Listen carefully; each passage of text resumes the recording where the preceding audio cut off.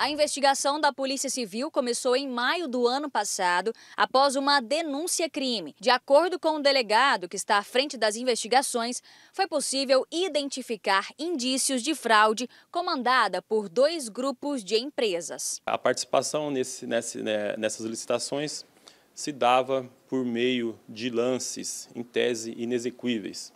Vale dizer que na parte da licitação da disputa aberta, né, onde todo, todos os concorrentes passam a reduzir o, o valor dos lances ofertados, eles mergulhavam nos lances oferecidos de modo a excluir os demais concorrentes.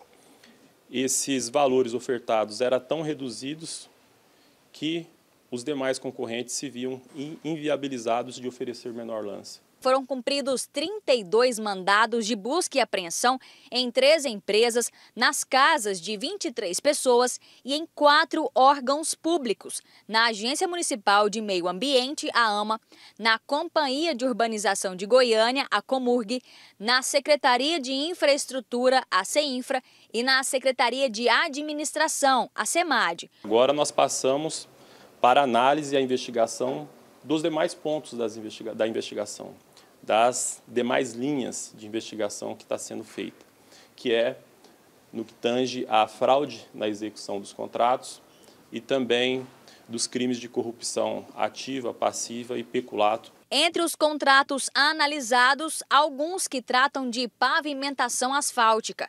De acordo com as investigações, as empresas que ganhavam as licitações de fornecimento de emulsão asfáltica não tinham autorização da Agência Nacional de Petróleo, ANP, para comercializar o produto. Uma certidão falsa de autorização foi apresentada para vencer a licitação.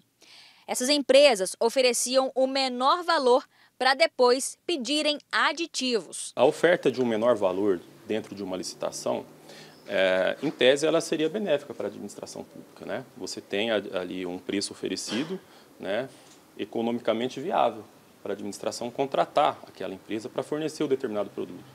Só que isso há um limite. O limite é o, é o limite jurídico, que a gente chama de, de valor de custo do objeto que está sendo licitado. A empresa ela tem que comprar esse material de algum fornecedor. E esse material tem um custo. Por mais que se pesquise no mercado, há um limite razoável que essa empresa pode oferecer dentro da licitação, sob pena desse lance se, ter, se tornar inexequível, ou seja, a empresa não poder depois fornecer o material que está sendo licitado. Uma das empresas, inclusive, já havia sido investigada. No ano de 2022, deflagramos a Operação Verate em duas fases. Nessa operação, a a GIM Comercial Atacadista foi alvo da, de investigação por fraudes eh, praticadas em diversos municípios do interior do estado, né? não necessariamente contra a prefeitura. E agora ela volta a ser alvo de investigação. E isso é, é uma pesquisa, é uma análise que tem que ser feita pelo gestor público, antes de firmar contrato com essas empresas. Né? Entre os agentes públicos alvos da operação estão o diretor-presidente da Comurg, Alisson Borges, o presidente da AMA, Luan Alves, e o atual secretário municipal de Infraestrutura Urbana, Denis Pereira Alves.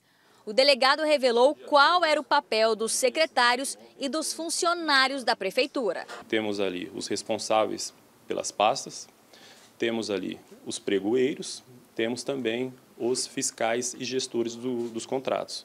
Sabemos que cada qual tenha a sua, o seu, o seu a sua atribuição funcional dentro desses contratos. Temos aqueles que conduzem as, as licitações, temos aqueles que agem na execução do contrato, atestando o recebimento de, de mercadorias, de produtos, né?